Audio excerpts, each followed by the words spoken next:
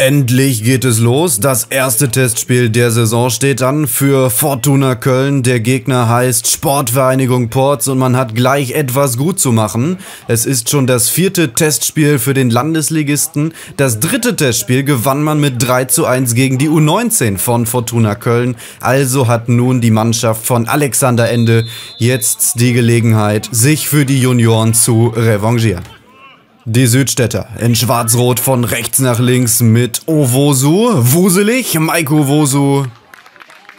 Durch die Abwehrreihe von Ports hindurch, der 26-Jährige hier mit der Chance bleibt auch direkt im Fokus. Wunderbarer Distanzschuss, oben link ins Eck, unhaltbar das 1 zu 0 für Fortuna Köln. Die Mannschaft von Jonas Wendt hier kalt erwischt. Wir sehen es nochmal in der Wiederholung, wie gut dieser Treffer von Owosu war. Sieben Tore hatte er in der vergangenen Regionalligasaison erzielt. Davon gerne mehr. Weiter geht's mit Fortunas Powerplay. Diekmann. Batterilo, Neuzugang von Alemannia Aachen. Und Demay, Leon Demay, erste Gelegenheit für den Mittelstürmer. Auch er ist neu und kommt von den Sportfreunden Lotte.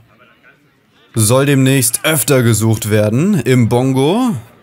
Owusu, wieder Demay, Riesengelegenheit. Den muss man erstmal so vorbeihauen. Per Kopf aus kürzester Distanz. Weiter geht's. Eckball Kegel. Und jetzt ist er drin. Beim dritten Versuch, Leon Demay, jetzt macht das auch per Kopf funktioniert. Das war aber wunderbar vorgelegt.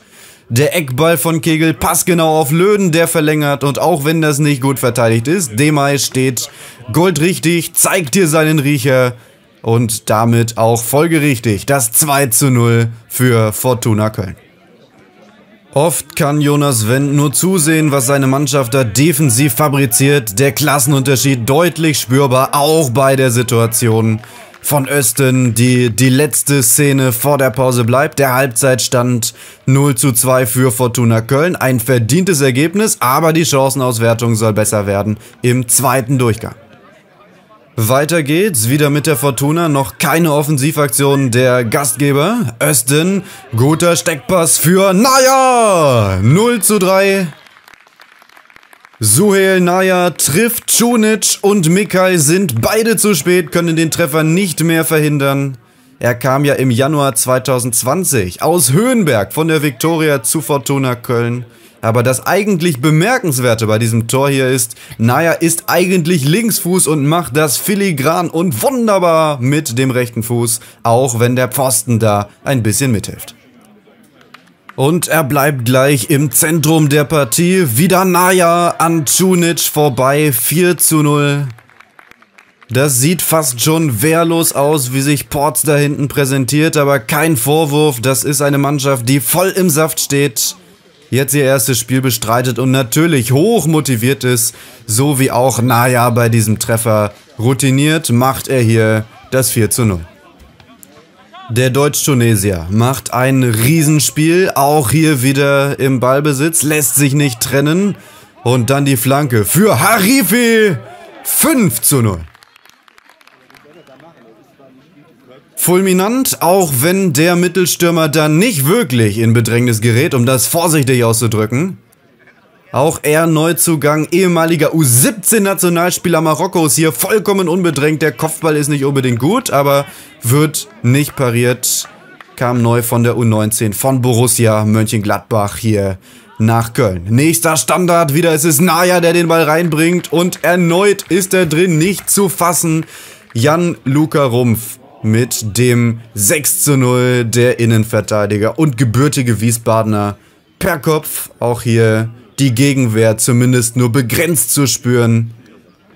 Aber auch das irgendwo verständlich bei dem Pensum, das Ports in der Vorbereitung in den vergangenen Tagen und Wochen hingelegt hat.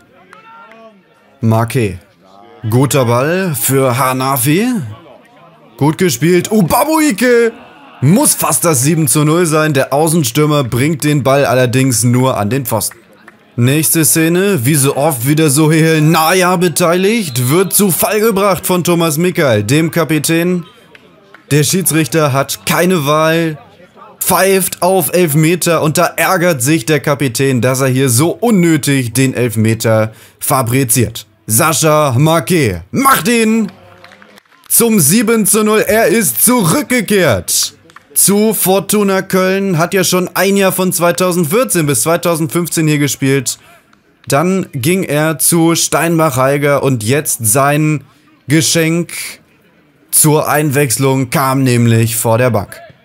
Und dann noch das 8 zu 0 Hanafi, der auch ein super Spiel machte mit dem Abstauber nach dem Ball von Timo Hölscher.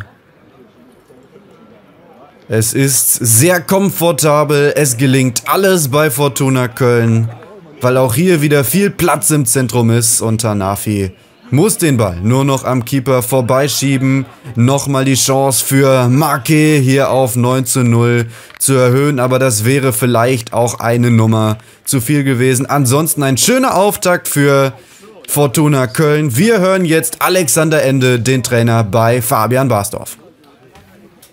Ja, erster Aufgalopp äh, nach einer äh, Trainingswoche. Sehr zufrieden, ähm, gutes Ergebnis, viele Torchancen rausgespielt.